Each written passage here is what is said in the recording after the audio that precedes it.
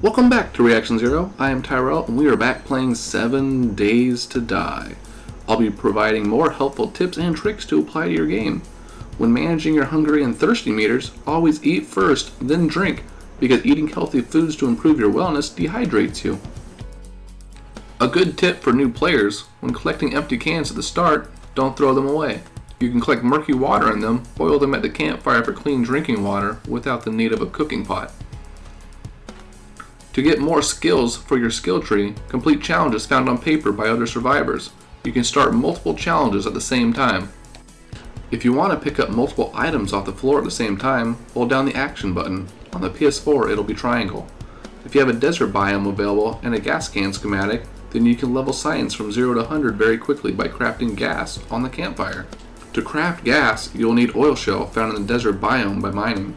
The stone will have a purple hue to it and is somewhat shiny, the desert biome will be the tan color on your map. Always aim for the head of zombies, as it does massive damage and will save you ammo for guns and stamina when using blunt weapons. A pro tip is to not use your skills you have obtained on skills that you can gain by playing the game. Use your skills on items that cost you 5 to 10 points at a time. This way, you're not wasting a potential experience and skill points. This will be helpful later on in the game. In order for new loot to respawn in objects, there must be no old loot inside. Remove all old loot if you wish to loot here again in the future. An annoying audio bug will occur when driving your bike causing the audio to disappear. To regain the audio, release the gas button for your bike and the sound will return. If you can't wait for loot or zombies to respawn, mod the options for loot to respawn every 5 days and set the day-night cycle to 10 minutes.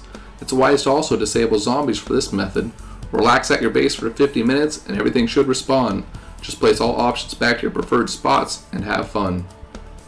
When max crafting miscellaneous items such as clothes, always max craft items that require the most materials, because you will level much faster and requiring less of a grind.